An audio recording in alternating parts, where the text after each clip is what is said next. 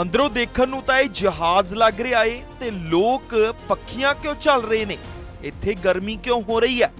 ਤੁਸੀਂ ਹੈਰਾਨ ਹੋ ਰਹੇ ਹੋਵੋਗੇ ਕਿ ਆਖਰਕਾਰ ਜਹਾਜ਼ ਦੇ ਅੰਦਰ ਏਸੀ ਨਹੀਂ ਚੱਲ ਰਿਹਾ ਤੇ ਜਹਾਜ਼ ਹਜ਼ਾਰਾਂ ਫੁੱਟ ਦੀ ਉਚਾਈ ਤੇ ਹੈ। ਅਹ ਤੇ ਜਹਾਜ਼ ਦੇ ਅੰਦਰ ਆਕਸੀਜਨ ਦੀ ਕਮੀ ਵੀ ਹੋ ਸਕਦੀ ਹੈ। ਇਹ ਜਿਹੜੀਆਂ ਤਸਵੀਰਾਂ ਤੁਹਾਨੂੰ ਦਿਖਾ ਰਹੇ ਹਾਂ, ਇਹ ਕੋਈ ਫਿਲਮ ਦੀ ਸ਼ੂਟਿੰਗ ਨਹੀਂ ਜਾਂ ਫਿਰ ਕੋਈ ਪ੍ਰੈਂਕ ਨਹੀਂ ਹੈ। ਇਹ ਅਸਲੀ ਤਸਵੀਰਾਂ ਨੇ ਇੱਕ ਜਹਾਜ਼ ਦੇ ਅੰਦਰ ਦੀਆਂ।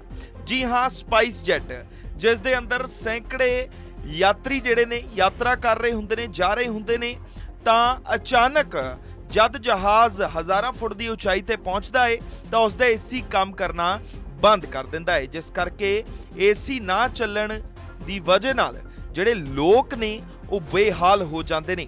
ਗਰਮੀ ਲੱਗਣ ਲੱਗ ਜਾਂਦੀ ਹੈ, ਬਜ਼ੁਰਗਾਂ ਨੂੰ ਘਬਰਾਹਟ ਹੋ ਜਾਂਦੀ ਹੈ। ਕਈਆਂ ਨੂੰ ਤਾਂ ਇੰਨੀ ਜ਼ਿਆਦਾ ਘਬਰਾਹਟ ਹੋਈ ਕਿ ਉਹਨਾਂ ਨੂੰ ਆਕਸੀਜਨ ਦੇਣੀ ਪਈ। ਤਾਂ ਦੇਖ ਲਓ ਇਹਨਾਂ ਪ੍ਰਾਈਵੇਟ ਕੰਪਨੀ ਦੇ ਜਹਾਜ਼ਾਂ ਦੀ ਆਰਗੇਨਾਈਜੇਸ਼ਨਸ ਨੂੰ ਕਿਵੇਂ ਇਹ ਤੁਹਾਡੇ ਪੈਸੇ ਲੈ ਕੇ ਤੁਹਾਨੂੰ ਹੀ ਸਰਵਿਸ ਸਹੀ ਤਰੀਕੇ ਦੇ ਨਾਲ ਨਹੀਂ ਦਿੰਦੇ। ਤਾਂ ਰੋਡਵੇਜ਼ ਦੀ ਲਾਰੀ ਬਣਿਆ ਇਹ ਜਹਾਜ਼, ਕਾਪੀਆਂ ਕਿਤਾਬਾਂ ਦੇ ਨਾਲ ਪੱਖੀਆਂ ਝੱਲ ਰਹੇ ਨੇ ਯਾਤਰੀ।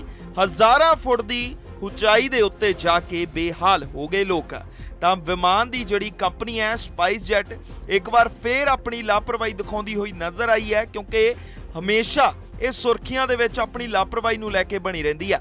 ਤੇ ਤਾਜ਼ਾ ਮਾਮਲਾ ਜਹਾਜ਼ ਦੇ ਏਸੀ ਦੇ ਨਾਲ ਜੁੜਿਆ ਹੋਇਆ। ਤੁਹਾਨੂੰ ਦੱਸ ਦਈਏ ਕਿ ਜਹਾਜ਼ ਕਰੀਬ 1 ਘੰਟਾ ਜਦ ਹਵਾ 'ਚ ਸੀ ਉਦੋਂ 1 ਘੰਟੇ ਤੱਕ ਉਸ ਦੇ ਅੰਦਰ ਏਸੀ ਨਹੀਂ ਚੱਲਿਆ, ਜਿਸ ਕਰਕੇ ਯਾਤਰੀ ਪਰੇਸ਼ਾਨ ਹੋ ਗਏ। ਜਿਹੜੀਆਂ ਕਿਤਾਬਾਂ ਐਂਟਰਟੇਨਮੈਂਟ ਦੇ ਲਈ ਜਹਾਜ਼ਾਂ ਦੇ ਵਿੱਚ ਦਿੱਤੀਆਂ ਜਾਂਦੀਆਂ ਨੇ, ਉਹਨਾਂ ਦੇ ਨਾਲ ਪੱਖੀ ਚੱਲਦੇ ਹੋਏ ਨਜ਼ਰ ਆਏ ਇਹ ਯਾਤਰੀ। ਤਾਂ ਤੁਹਾਨੂੰ ਦੱਸ ਦਈਏ ਕਿ ਸਪਾਈਸ ਜੈਟ ਦੀ ਜਿਹੜੀ ਇਹ ਫਲਾਈਟ ਹੈ, ਇਹ ਦਿੱਲੀ ਤੋਂ ਦਰਭੰਗਾ ਜਾ ਰਹੀ ਸੀ। ਰਾਹ ਦੇ ਵਿੱਚ ਇਹ ਹਾਲ ਦੇਖਣ ਨੂੰ ਮਿਲਿਆ ਏ। ਤੇ ਹੁਣ ਸਪਾਈਸ ਜੈਟ ਦੇ ਪ੍ਰਸ਼ਾਸਨ ਦੇ ਕੋਲੋਂ ਜਵਾਬ ਮੰਗਿਆ ਗਿਆ ਹੈ ਕਿ ਆਖਰਕਾਰ ਅਜਿਹੀਆਂ ਗਲਤੀਆਂ ਤੁਹਾਡੀ 에ਅਰਲਾਈਨਸ ਕੋਲੋਂ ਕਿਉਂ ਹੁੰਦੀਆਂ ਨੇ? ਕਿਉਂਕਿ ਅੱਗੇ ਵੀ ਕਈ ਵਾਰ ਦੇਖਣ ਨੂੰ ਮਿਲਿਆ ਸਪਾਈਸ ਜੈਟ ਕਦੇ ਜਿਹੜਾ ਐਮਰਜੈਂਸੀ ਲੈਂਡਿੰਗ ਕਰਾਣੀ ਪੈ ਰਹੀ ਹੈ, ਕਦੇ ਕੁਝ ਕਦੇ ਕੁਝ ਤੇ ਹੁਣ ਇਹ ਨਵੀਂ ਚੀਜ਼ ਦੇਖਣ ਨੂੰ ਮਿਲੀ ਹੈ, ਹਜ਼ਾਰਾਂ ਫੁੱਟ ਦੀ ਉਚਾਈ ਦੇ ਉੱਤੇ ਇੰਨੀ ਤਪਦੀ ਜਿਹੜੀ ਗਰਮੀ ਹੈ, ਉੱਤੇ ਲੋਕ ਇੱਕ ਵੈਕਿਊਮ ਯਾਨੀ ਕਿ ਜਹਾਜ਼ ਦੇ ਅੰਦਰ ਬਾਹਰੋਂ ਬਿਲਕੁਲ ਹਵਾ ਨਹੀਂ ਆਉਂਦੀ ਇੱਕ ਤਰੀਕੇ ਦਾ ਵੈਕਿਊਮ ਬਣਿਆ ਹੁੰਦਾ ਏ ਤੇ ਉਤੋਂ ਏਸੀ ਨਾ ਚੱਲੇ। ਤਾਂ ਤੁਸੀਂ ਆਪ ਹੀ ਅੰਦਾਜ਼ਾ ਲਗਾ ਸਕਦੇ ਹੋ ਕਿ ਕੀ ਹਾਲ ਹੋਇਆ ਹੋਵੇਗਾ ਇਹਨਾਂ ਯਾਤਰੀਆਂ ਦਾ।